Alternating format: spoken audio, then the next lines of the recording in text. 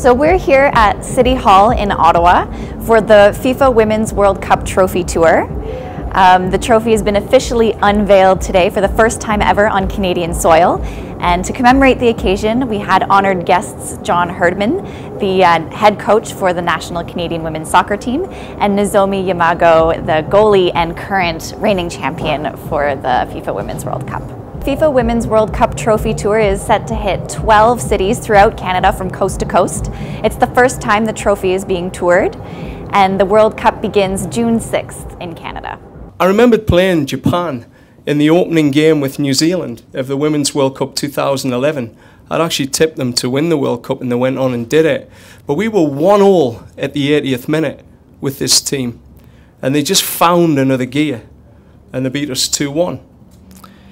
And I remember in that moment at the end of the game, the team proudly walked around with a, a banner which was um, recognizing the disaster that they'd had in the country only four months prior to that World Cup, which was the, the terrible tsunami. And they had a purpose. And after that event, and I've spoke to my players about this team, they were the most connected team in that tournament.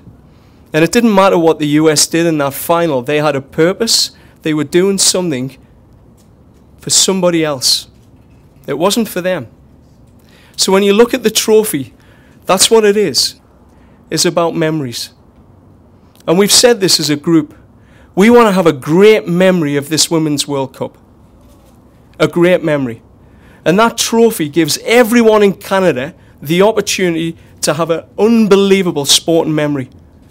To be there with your kids in a front room somewhere to be there in a stadium, in a packed stadium, watching it live, to be there in a bar or in a back garden in a barbecue. You, you can picture it now. Those memories that only sport seems to bring around. And I think that's, that's the key.